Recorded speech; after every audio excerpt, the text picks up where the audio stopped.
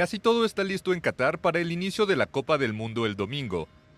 A cuatro días del arranque del torneo, en los alrededores de los estadios hay una fuerte actividad, mientras se llevan a cabo los últimos preparativos para garantizar que todo funcione cuando comience a rodar el balón. El FIFA Fan Festival también se prepara para recibir a los aficionados de todo el mundo. En este gran centro para hinchas se transmitirán los partidos y habrá además espectáculos y actividades recreativas mientras que los aficionados comienzan a colmar las calles de la capital catarí.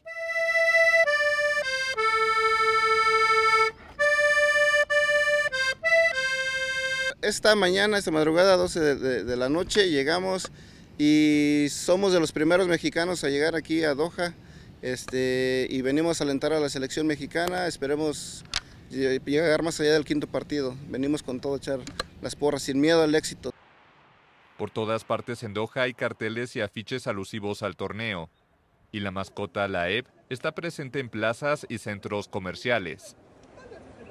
Llegamos hoy a la mañana temprano, serían dos de la mañana de acá, más o menos, un, grupo importante, numeroso ahí de Córdoba.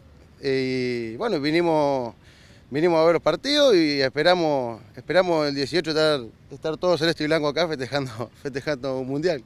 Quise ir, quise venir acá y y vendí todo lo que no tenía y, acá estamos.